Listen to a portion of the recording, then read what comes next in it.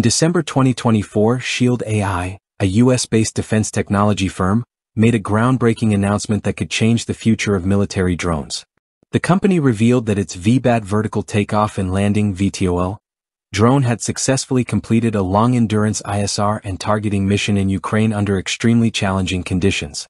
This mission was carried out while GPS and communication signals were jammed, showcasing the drone's advanced autonomous capabilities and its ability to operate effectively in electronic warfare environments.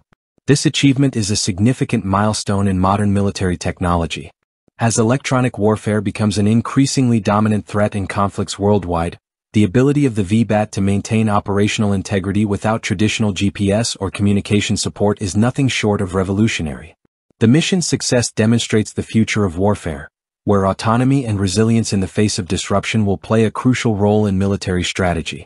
In the context of the Ukraine conflict, the VBAT's performance is particularly critical.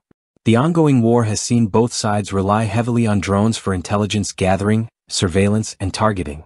Russia, in particular, has invested heavily in electronic warfare systems to jam communications and disrupt GPS signals, posing a significant challenge to Ukraine.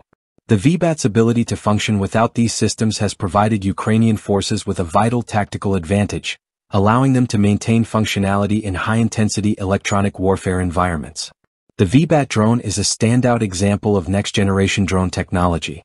Its hybrid propulsion system allows it to take off and land vertically like a helicopter, while also achieving long-range, high-speed flight like a traditional airplane. This versatility makes it suitable for a wide range of missions, from ISR to precision strikes, without the need for traditional runways or landing zones. Its compact size and ability to carry advanced payloads such as high-definition cameras, radar systems, and targeting equipment further enhance its mission flexibility. Unlike many traditional drones that struggle with endurance or require vast operational spaces, the VBAT excels in long-endurance, long-duration flights. With the ability to remain airborne for up to 12 hours, it offers extended operational coverage without the need for frequent recharging or refueling. This capability is especially important in contested environments like Ukraine, where persistent surveillance and real-time intelligence are essential. What sets the VBAT apart from other drones is its resilience against electronic warfare. In modern conflicts, electronic warfare has become a vital tool for disrupting communications, degrading GPS signals and neutralizing drones.